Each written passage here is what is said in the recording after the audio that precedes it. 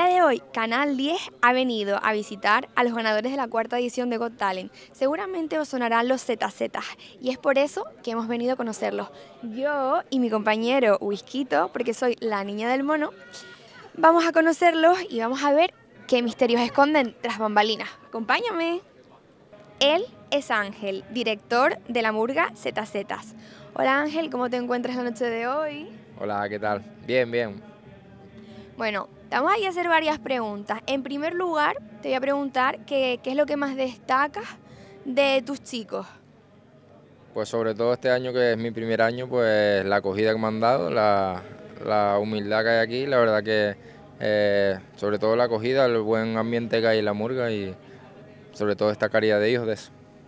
Y si me tuvieras que decir más o menos los ensayos, cuánto tiempo suelen ensayar, son bastantes horas, ¿no? Pues ensayamos, verdad que los ensayos siempre empezamos a las 9 y siempre sale a las 11, 11 y media, depende del, depende del momento y depende del día. ¿Suelen tener bastantes nervios los días previos a la actuación?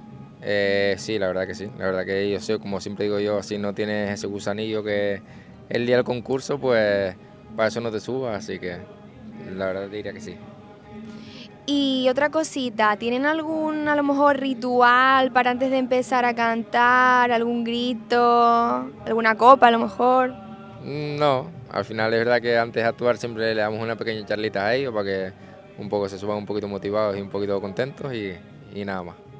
Si me tuvieras que desvelar, bueno, con alguna palabra o alguna cosa del, de cara al 2024, ¿qué me destacarías o qué me dirías? Nada, que vamos con, la verdad que vamos con mucha crítica, vamos con un poco de ironía y, y nada, esperamos gustar a la gente, que al final ensayamos para eso, que es lo que nos gusta. Tenemos también la noción de que fueron los ganadores de la cuarta edición de Got Talent. ¿Puedes decirnos algo de cómo lo vivieron? Bueno, no estabas en ese momento en el grupo, pero mm, será ahí un poco que el chisme, lo típico de que, oye, una murga chicharrera, que haya, se haya ido a la península y hayan ganado, pues tiene su mérito al final.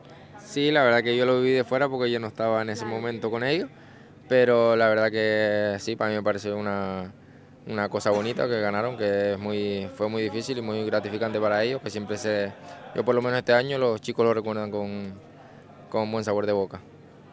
¿Y qué es lo que te ha movido a ti para ser el director de ellos?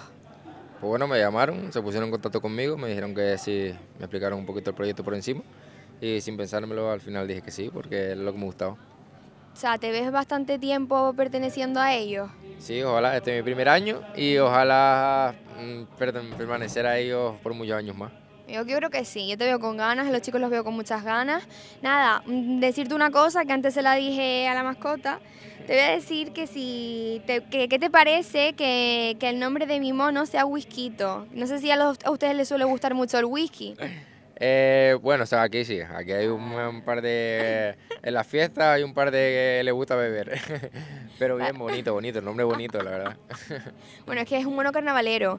Y te quiere decir que se los ha dicho a todos que mucha suerte. Lo que pasa es que él no habla, él es más de abrazos. Y también yo creo que quiere un abrazo tuyo. yo, le, yo, le, di un abrazo, un abrazo al monito para que... Y se lo agradezco, le agradezco la suerte, que me dé suerte y espero que que el monito también nos dé suerte a nosotros. Oye, pues muchísimas gracias, los dejamos ensayar y que nada, que no, que se mantengan con esa ilusión y esas ganas, que con eso al final te comes el mundo. Si no te lo crees tú, mal va. Pues nada, gracias a ustedes, al final eh, saben que estamos aquí para lo que necesiten y cualquier cosita, saben que este es el local de ZZ. Muchísimas gracias. A ustedes. Estamos aquí con David, uno de los componentes de los veteranos, de esos que llevan tiempo. Hola David, ¿cómo estás? Muy bien, muy bien. ¿Me decías que cuántos años llevabas aquí? Bueno, aquí estuve 10 años como mascota, eh, desde pequeño, desde que tenía un año, y como componente en fila llevo 3 ahora mismo. ¿Y qué destacarías de pertenecer al final a una murga que pasa a ser tu familia después de tanto tiempo? Pues lo que más destaco es el ambiente, eh, la gente que tenemos aquí, que somos una familia, como tú dices.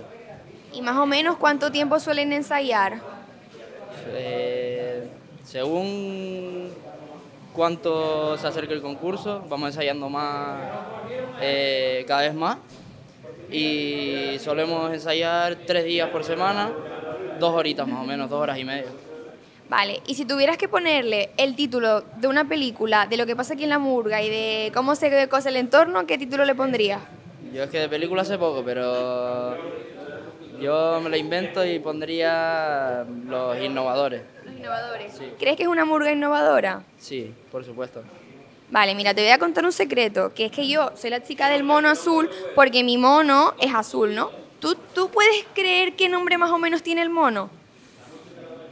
La verdad es que no. Venga, di uno, di uno. Uno que tenga que ver con algo que hacemos mucho. Mm, mm, ¿Te gusta el whisky? Mucho. Pues se llama Whiskyito.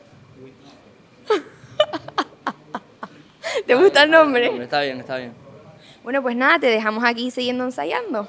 Muchas gracias. Gracias.